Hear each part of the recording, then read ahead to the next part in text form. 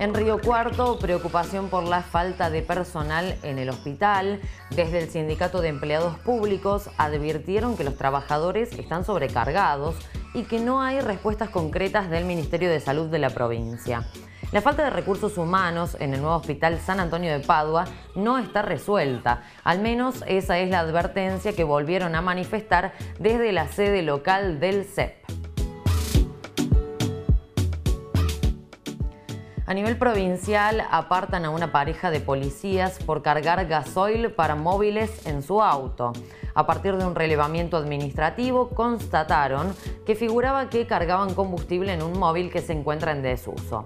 Quedó en evidencia una maniobra por la cual al menos un efectivo policial y una empleada administrativa de la fuerza, que sería su esposa, habrían hecho figurar en las planillas la carga de entre 45 a 50 litros de gasoil en un móvil de la fuerza, pero en realidad tal combustible fue suministrado al auto particular de los involucrados.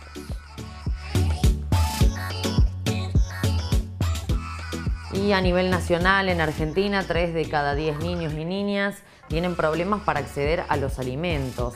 Así lo señala el nuevo informe de la Universidad Católica Argentina, que señala que se registró un incremento de un 35% entre 2017 y 2018, afectando a 3 de cada 10 chicos y chicas de entre 0 y 17 años, unos 3.4 millones, la cifra más elevada en los últimos 8 años.